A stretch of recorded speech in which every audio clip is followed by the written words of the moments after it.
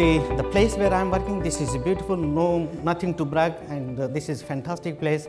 The most important thing is this building, which this is a building architecture. If you have seen the cheese, uh, Swiss cheese, it has a lot of holes.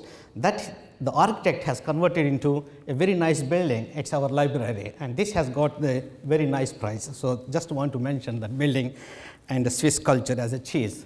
So now I come back to the topic. Just read this one, silicon solar cell efficiency 25.3 and that's taken from the NREL chart. The perovskite solar cell efficiency 23.3, Chinese Academy of Science, they have reported certified. The commercial silicon solar modules, their efficiencies, even though you have a 25.3 percent efficiency, the most of the modules, depending on the supplier, they don't go beyond say 20 percent efficiency. However, perovskite solar cells, we are reaching very close to the silicon solar cell efficiency. But the problem between the silicon solar cells and perovskite solar cell is stability. And the stability is the biggest criteria for this technology. So, since we are working in this new technology and it is easy to fabricate and many countries can start and PhD students can start on this topic and come up with new materials. This is a huge opportunity for developing new materials on the perovskite material, on the perovskite topic. You will see in my presentation some ideas as I go on, I give you some take home messages, some, uh, some interesting thoughts where you can build on your PhD or some other uh, topics. So, in order to give you some perspective, what is perovskite solar cell? I have destacked the perovskite solar cell into different layers. Basically, if the perovskite solar cell has a three main components. One, what we call electron transport layer, that's a, this one, TiO2 acts as electron transport layer. And the main component, that's a, the perovskite, that's absorber. And now you have a hole transporting material on top of uh, perovskite.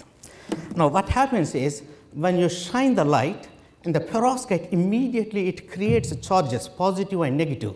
So, in most of the material this by creating the charges they go like an ion pair this is called what we call exciton bind exciton and to dissociate this exciton positive and negative charge you have to give some energy and this is extremely high energy depending on the materials. But the beauty of the perovskite materials is when you excite at room temperature the moment it sees the photons, you already have your carriers. That's a positive and negative charges. They travel like a highways. What you have to do is at the interface, you collect these charges and that's the reason why it's so efficiently working and giving you high efficiency.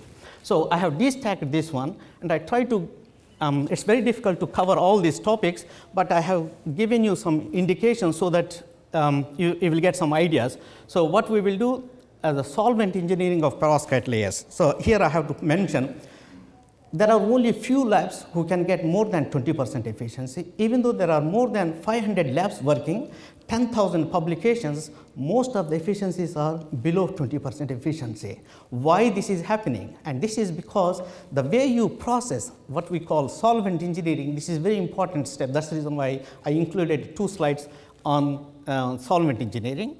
And then you have a interface engineering. So, as I mentioned you create a charges, but these charges also can recombine at these interfaces. The devices of perovskite is nothing but interfaces. What you see is here, so I create one interface between the hole transporting material and the perovskite. This is uh, one interface. There is another interface uh, that's between the perovskite and electron transport layer. So, these are the two interfaces which you have to control in order to get the high efficiency and stability.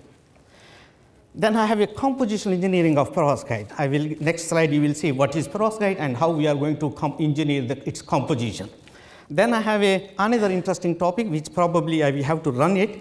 It's called hole transport material. That's a top layer that's the commercial stuff is not very stable. So, you have to develop your own hole transporting material and here for the organic professors, organic students, it's a huge opportunity to develop these materials with the functionalities of this material. So, that's the reason I have included a, two, a few slides on the hole transporting materials. If time permits, I give you uh, all this uh, material. So, let's come back to the perovskite. What is perovskite actually? And take the silicon solar, it's a simple compound, monotonic silicon. And in the perovskite, we are having a three uh, components A, B, X. So, A is a monocation. This monocation can be um, cesium or, or methylammonium or formamidinium And you have a B as a dication. In this case, we are working with lead. this can be tin. The tin is not very stable because it immediately undergoes to oxidation. And now you have a X as a halide. It can be chloride, bromide, iodide. So now you have an enormous opportunity to tune its properties. That's the reason I have mentioned here uh, the tunable band gap. So I can tune the band gap of this material either by changing the cation, you will see some slides, or by changing the halide. So this way you have a opportunity of, depending on the requirements of the buildings integration, you can have a different colors the strong absorption in the whole visible region. Silicon solar cells they absorb between 400 to 1.2 micrometers, 1200 nanometers. Perovskite solar cells they absorb only 400 to 800 nanometers. You will see in the next slide. As I mentioned already, the small excitation dissociation energy that's as small as 30 millielectron volts. So this is the beauty of the perovskite materials, and this particular property is making this material very efficient. So this is the slide showing the absorption spectral properties. You can see the perovskite absorbs the whole visible region and it has a very sharp onset. What does it mean by sharp onset? This onset is a property of the material you have a load defect. Let's take this one. The property of the material which has a low defect and with this low defect and you get carriers at the interfaces. So now come back to the devices. So there are in the literature there are several architectures. Here I have highlighted uh, the best one that's a um, this one NIP mesoporous, this one mesoporous and this is without a TiO2 layer. So these are the two NIP architectures depending on the the light which you are coming. So electron extraction side is a N and the intrinsic perovskite and P is a hole transporting material. So this is the configuration which the Chinese has reported uh, 23.3 and here in this configuration Yesterday, somebody was asking in the audience for the, the TiO2 was not a very good material. It may have a stability problem. So the solution is, can we remove the TiO2? Yes, of course, you can remove the TiO2. You can remove the TiO2 and it's called planar perovskite solar cell. And this one gives you slightly lower efficiency, close to 22 percent. You will see the certified data, which I will share with you. And the other one is PIN configuration. So PIN configuration, first you deposit the hole transporting material, followed by perovskite, followed by ETL. So these are the three dominant configurations in the literature. I come back to the solvent engineering. So you can make the perovskite solar cells, but the efficiencies are very low. How to increase the efficiency? So if you go back to the cross-sectional image of a best performing solar cell, what you see here is that this is a compact layer of TiO2 and you have a very thin layer of mesoporous layer between 150 to 200 nanometers, then you have a 500 nanometers overlayer thickness. That's a perovskite overlayer. Controlling this overlayer is very important because when you increase the, this thickness, you can absorb more, more light and that gives you more current. And this is the important property. So how do you control this thickness? The perovskite has a, another interesting property. Most of the materials when you dissolve, it solubilizes at by increasing the temperature. That's the inverse situation with the perovskite. As you increase the temperature, you start precipitating. So you are doing two things in one shot. By heating the, your perovskite solution, you are precipitating. By putting the anti-solvent on top of the perovskite solution, you are enhancing the crystal growth. And that's the reason why you get this uh, 200, 500 nanometers overlay thickness. So people who can manipulate this, uh, the two processes, heating and precipitation by solvent pinching can get over 20 percent efficiency. So what type of solvents you should use? So we have a different solvent screen. I will not go into the details. So the take home message is you need a high boiling solvent and miscible in your perovskite solution. What is your perovskite solution? You take your methylammonium iodide and lead iodide in DMS DMF and then this solution the anti-solvent has to be miscible and a high boiling point. These are the two criteria. And if you have a low boiling solvent like a ether, you can see the crystals are not very good. When you have a high boiling solvents like a trifluorotoluene, toluene or benzene, you can see micrometer size crystals growth. So these are the two parameters. So the efficiency is having a trifluorotoluene, you can get 20 percent efficiency. As you go down with the ether, you have a lower efficiency. These are the uh, the data, it's not a one cell based data, it's a 25 average of 25 cells and the data is reported as shown. So now I come back to the uh, perovskite, that's interface engineering between the perovskite and hole transporting material. So another take home message, when you are having a perovskite composition, you may be using a stoichiometric ratio. That's a lead iodide versus your organic compound, methylammonium iodide, any other. That's called a stoichiometric ratio. Never use stoichiometric ratio. It has to be non-stoichiometric ratio. That what does it mean by non-stoichiometric ratio? When you are making these compositions, you should have a, at least a 10% excess of lead iodide with respect to your organic cation. And with this non-stoichiometric ratio, what you are having is you will left over with some excess lead iodide as shown here. This is just a cartoon. Just imagine that you have a perovskite solution, you, dip, you spin coated, you have a excess unreacted lead iodide. So, I want to make use of this excess unreacted lead iodide by putting a, another layer of perovskite. So, what I do? So, I just take the perovskite solution, uh, anti-solvent, you have a perovskite overlay thickness and on the top you have a unreacted lead iodide. Now, I come up with a, a formamidinium bromide. This is a, another organic uh, material and this formamidinium bromide reacts with this lead iodide, excess lead iodide into your system and it forms a new perovskite layer. So, now I have created a, a thin layer of a passivation layer on top of my three dimensional perovskite. This can be another perovskite, but this has a different properties. So, this is a, a, cartoon showing after conversion of excess lead iodide into a new perovskite and some image, the top image shows that you have a this mirror. But you need experimental proof to show that you are having that one. So, now let us take the uh, geometry, uh, structural characterization. This is your TiO2, which is act as the electron transport layer. This is your perovskite. This is newly created your um, perovskite uh, interlayer between the hole transport material and the perovskite. Question is, what is this doing? So, the, the, the answer is when you create charges within the perovskite, the holes, fortunately, the HOMO level of this new perovskite and then the perovskite is well aligned. So, there is no barrier to extract positive charges into your hole transport material. On the contrary, look at the LUMO level of your new material that has a higher band gap and that it forces your electrons directing towards to go towards the TiO2 layer and this way you create uh, more charges and reduce recombination significantly. How do we know that one? Let us take the data here. So, this is IV characteristics which we usually do. This is as prepared film without any interlayer and here you have a deposited interlayer that gives you higher efficiency and the optimized efficiency is 21.3. Now, just go back to the previous slide, the difference between 1.1, 1.16 for you it looks nothing, but for us it is an achievement because we have increased 60 millivolts by creating this interlayer. Okay? That is the beauty of this material.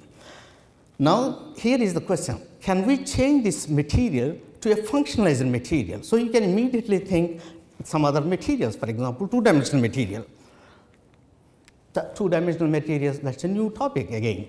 So, what is two dimensional material? So, your perovskite is a three dimensional material like this one, all interconnected.